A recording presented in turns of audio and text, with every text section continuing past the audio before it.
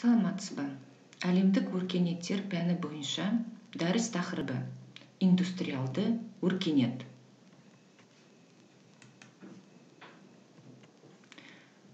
Тақырыптың негізгі сұрақтары. Силлабуста көрсетілген. Назар аударыңыз. Дәрістің мақсаты. Индустриалдық өркениетке өтуінің маңызына ерекшеліктеріне мағлұмат беру арқылы білім білікті қалыптастыру.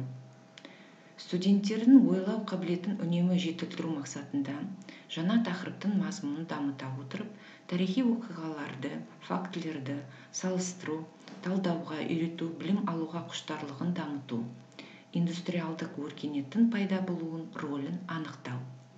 Индустриализация дәуірінің рухани мәдениетінің тарихи туралы де тарихи деректер арқылы студенттердің көздерін жеткізіп дұрыс түсініктерін қалыптастыру.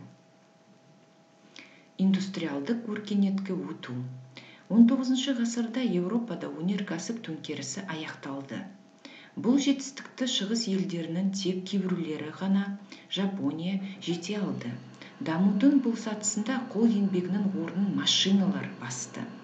Дамудағы шектен тыс жылдамдық ғылымға байланысты болып өндіріс пен ғылымды бірінші болып ұштастыра алған мемлекет ұлыбритания алғашқы кезеңнен бастап дайын өнімді беру мен тұрмыстық ыңғайлықты қалыптастыра білді. Құрметті студенттер осы слайдтан 18 ғасырдың 90 жылдан аяқ кезінде тоқыма өнеркәсібінде джон уайт бу двигателі кеңінен қолданылды. Назар аударыңыз. Ол кездерде индустрияландырудың адамзатты табиғат тәуелдігінен құтқаруына сенім күшті болды. Жаңа өркениетке аяқ басуымен бұл уақытқа дейін белгілі болмаған кедергілер кездесе бастады. Ағылшын экономист томас мальтус халықтардың қоныстануының тәжірибесі еңбегінде адамзаттың барлық жағдайын жасаған кезінде өлім азайын азайып туу көбейіп ашаршылық басталатыны жайлы жазады. Сол үшін төменгі тап өкілдерінің көбеюін қолдап азайту қажет деп санайды. Құрметті студенттер осы слайдта томас роберт мальтус бейнесі көрсетілген қысқаша сипаттама берілген. Назар аударыңыз. Құрметті студенттер осы слайдта томас мальтустың еңбегі опыт закона о народонаселении деген назар аударыңыз томас мальтустың гипотезасы ең белгілі ғалым. 19 19 ғасырдың. Осы слайдта еңбегі көрсетілген. Назар аударыңыз томас мальтус ғалым мальтузианство деген жаңа бағыт ғалымда ашылған. осы томас мальтустың атымен айтылған мальтузианство деген назар аударыңыз томас мальтустың ең белгілі еңбегі опыт о законе народонаселения в связи с будущим совершенствованием общества 1798 жылы жарық көрген келесі еңбегі исследование о природе и возраст, возрастании ренты 1815 жылы жарық көрген. Принципы политической экономии. Осы еңбегі 1820 жылы жарық көрген. Индустриалдық өркениетке өту басқа бір ағылшын экономист давид рикардо. Индустриалды қоғамның қарыштап дамуымен жердегі шикізат таусылады деген тұжырым жасады. Құрметті студенттер назар аударыңыз. давид рикардо қысқаша сипаттама берілген оның негізгі еңбегі начало политической экономии и налогового обложения 1817 жылы жарық көрген давид рикардо қысқаша сипаттама берілген назар аударыңыз индустриалды кезеңдегі энергия көздері ағаш Тас көмір болғанымен ең 1870 жылдардан бастап мұнай мен электр негізгі тұтынушы товар болды. Құрыштың өндіріске өндірілуімен машиналар ұзақ мерзімге шыдам беретін сапалы болды. Химияның дамуы нәтижесінде энергияның жаңа көздері табылды. Өнеркәсіптің даму жұмысты ұйымдастыру барысында жаңа жолдарды іздестіруге себеп болды. Құрметті студенттер осы слайдта монополистік капитализм қалыптаса бастап картельдер бағаларды реттеу мен товарларды сату аймақтарын бөлуге бағытталды. Құрметті студенттер осы слайдта рокфеллер және морган ең ірі капиталисттер 19 ғасырда болған. Назар аударыңыз. Синдикаттар товарларды бірлесе сатуды ұйымдастырды трестерде товар шығару мен сатуды бірдей қарастырды ең үлкен орталық концерн монополия орталықтарға тәуелді болды. Монополиялардың күшеюі жеке кәсіпкерлерге зиянын тигізетіндіктен 1880 жылдан өзінде ақ ақш та монополистерге қарсы қатаң шектеулер қойылды. Осылайша бұл кезеңде индустрияландырудың даму жағымен қатар теріс әсер ететін жақтары да орын алды.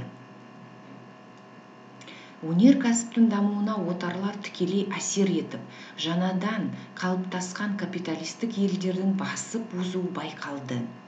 Өнеркәсіп төңкерісінің басталған жері ұлыбритания 19 ғасырдың аяғы мен 20 ғасырдың басында дамуда алғаш рет ақшқа көп ұзамастан германияға жол беруге мәжбүр болды.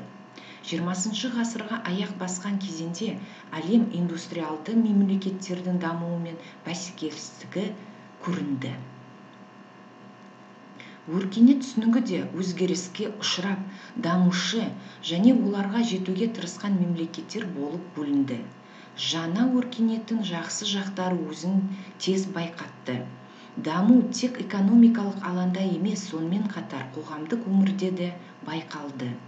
Өркениетті елдерде азаматтық деген түсінік қалыптасты. Жаңа құрылған индустриалды өркениетте үміт пен күту орын алды. 18-19 ғасырларда әдебиетте бейнелеу өнерінде философияда экономикада тарихта ерекше романтизм атты дүниетаным қалыптасты. Романтиктер өздерінше бір әлем құруға ниеттенді. Кейде ол әлемде өткен шақтан іздейді. Өздеріне тән құндылықтар ойлап өткен шақтарды құндылықтарды жоққа шығарды. Романтизм француз ә, сөзден шыққан романтизм. 18 ғасырдың аяғы мен 19 ғасырдың басында. Осы слайдта құрметті студенттер тарих кезеңі. Көрсетілген романтиктердің идеалындағы адамзаттың ақаншылықтығы мен жұмбақтылықтығын жаратылыстанушылар жоққа шығарды. Құрметті студенттер осы слайдта романтизмнің ең белгілі ғалымдар көрсетілген назар аударыңыз.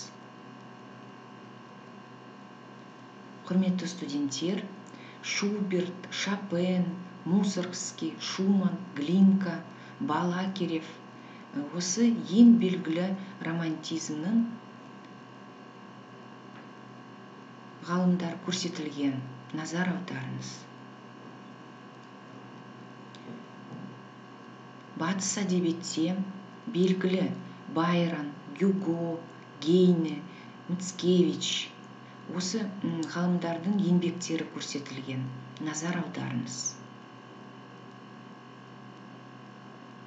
Эммануил кант неміс классикалық философияның негізін салушысы. Георг вильгельм гегель диалектика теориясының негізін салушысы. Артур шопенгауэр философ и рационалист. Фридрих ницше. Один из основателей философии жизни назар аударыңыз ағылшын ғалымы чарльз дарвиннің жаңалығы дін адамдармен қосымша романтиктерді да қорқытты. Адамзат жануармен бірге жаратылып бір бірінен айырмашылығы шамалы болуын дәлелдеген чарльз дарвиннің пікірі үлкен соққы болды. Чарльз дарвин эволюцияның негізін қалаушы. 1809 жылы 12 ақпанда шрюсберде дүниеге келді. Табиғат храмы атты тамаша поэмасын шығарған. Назар аударыңыз. Чарльз дарвин ағылшын натуралист оның табиғи сұрыптау теориясы биологиялық көптүрліліктің пайда болуын революциялық негіздемесін берді. Дарвиннің идеялары түрлердің шығу тегі туралы 1859 жылы еңбегінде жарық көрді. Назар аударыңыз. Чарльз дарвиннің еңбектері шығармалары антропологиялық проблемаларға тікелей қатысы бар дарвиннің екі шығармасы бар олар адамның шығу тегі және жыныстық таңдау. 1871 жылы жарық көрген. Адам мен жануарлардың мінез құлықтары 1872 жылы жарық көрген. Назар аударыңыз. Адамзатты одан сайын жануарға айналдырған зигмунд фрейд ашқан жаңалық болды. Зигмунд фрейд адамзаттың өркениетті түсінігінен бөлек жануарға тән инстинкттерін құмарлығын ашты. Зигмунд фрейд аустрия психологы психиатры және неврологы психоанализ ілімінің негізін қалаушысы. Назар аударыңыз.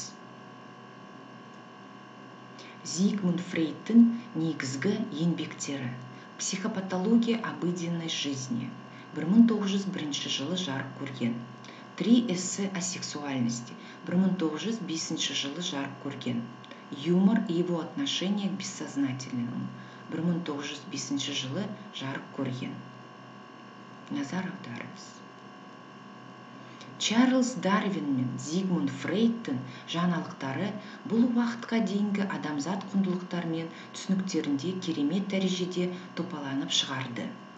19 ғасырдың ішінде капиталистік қоғамдағы экономикалық өзгерістер мен социалист утопистердің туындауына себеп болды. Оның көрнекті өкілдері анри сен симон шарль фурье роберт оуэн коллективті түрде дамуды ұсынды. Құрметті студенттер осы слайдта назар аударыңыз. Роберт оуэн клод анри сен симон шарль фурье.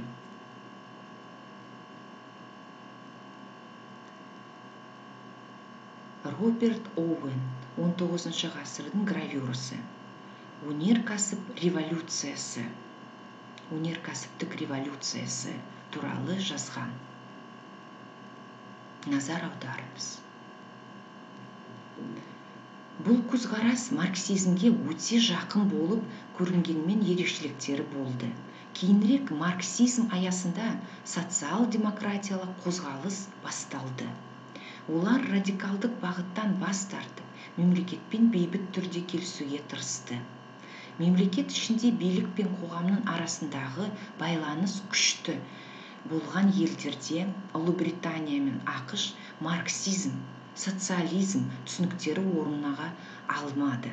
Ал жартылай феодалдық деспоттық түрдегі басқарудағы елдегі россия германия испанияда 19 ғасырдың соңында радикалды түрде күрес жүргізуге тырысқан топтар халық арасында өздеріне тірек тапты. Карл маркс 19 ғасыр немістің экономикалық ғалымы саяси экономисі революционер философ саясаттанушы әлеуметтанушы тарихшы ғылыми коммунизм теориясын іргетасын қалаушысы карл маркстың ең басты еңбегі капиталдың бірінші томы жарыққа шықты. Назар аударыңыз. Индустриалдық қоғам дәстүрлі аграрлы және тағы басқа өз дамыған қоғамдармен салыстырғанда қазіргі дамыған қоғамдардың тенденциялары мен ерекшеліктерін білдіретін ұғым. Бұл терминді француз философы ойшылы анри сен симонға жатқызады. Әрі қарай осы концепция әлеуметтанудың конт токвиль карл маркс дюркгейм жана басқа классиктердің идеяларымен байғытталды фридрих энгельс неміс революционері.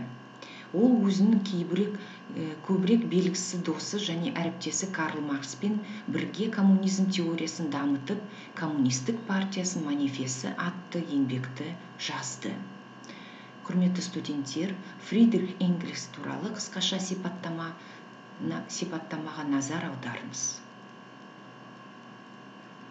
Макс вебердің идеалдық тип теориясы тарихи факторлардың көптігі концепциясы және рационалдық идеясы мемлекеттік институттар қызметінің негізі ретінде қазіргі әлеуметтануға саясаттануға зор ықпал етті. Протестанттық этика және капитализмнің рухы еңбегінде макс вебер өркендеп келе жатқан капитализм мен 17 ғасырдың протестанттық құндылықтары арасында байланысты көрсетті. Жаһандану мәселелерге негізгі түсінік кезінде фернан бродель жазып өткен әлем экономикасы болып табылады. Француз тарихшысы фернан бродель бұл жөнінде былай деп атап өтеді.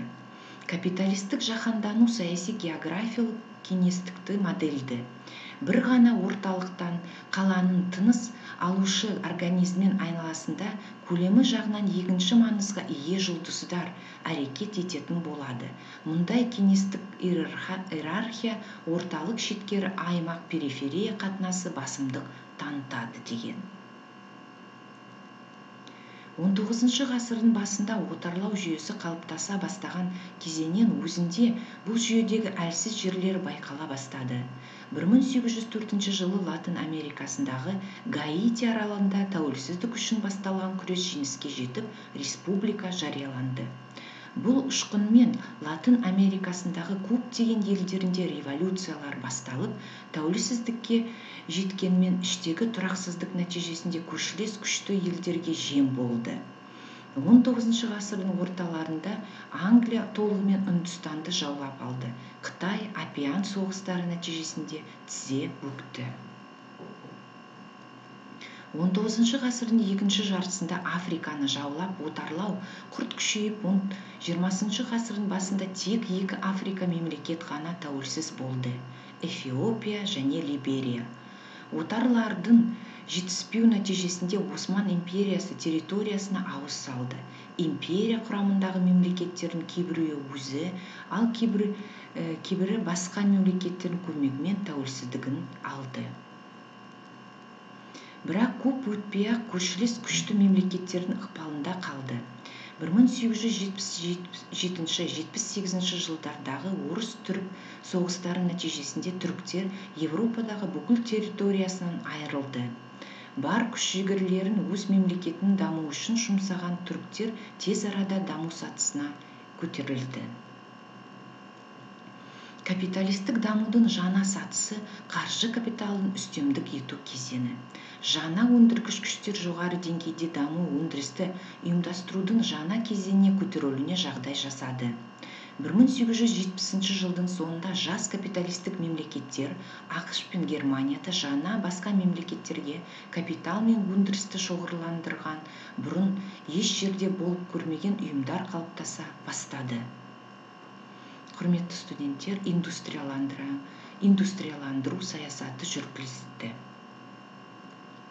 Жиырмасыншы ғасырға аяқ басқан кезеңде әлем индустрияландыру мемлекеттерінің дамуы мен бәсекелестігі көрінді. Өркениет түсінігі де өзгеріске ұшырап дамушы және оларға жетуге тырысқан мемлекеттер болып бөлінді. Жаңа өркениеттің жақсы жақтары өзі де тез байқатты. Даму тек экономикалық алаңда емес сонымен қатар қоғамдық өмірде де байқалды. Өнер өркениетті елдерде азаматтық деген түсінік қалыптасты. Индустриалды қоғам индустриалды қоғам индустриализация және модернизация жүзеге асырылған қоғам түрі немесе белгілі бір қоғам деген. Құрметті студенттер осы слайдқа назар аударыңыз. Индустриалды қоғам деген қысқаша сипаттама берілген. Индустриалды қатынастар деген қысқаша сипаттама берілген. Индустриалды қарама қайшылықтарға қысқаша сипаттама берілген. Назар аударыңыз. Құрметті студенттер бекіту сұрақтар осы силабуста көрсетілген назар аударыңыз. Құрметті студенттер осы бүгінгі дәріс тақырыбы бойынша ұсынылатын әдебиеттер. Бүгінгі дәрісіміз аяқталды. Назарларыңызға көп көп рахмет. Сау болыңыз.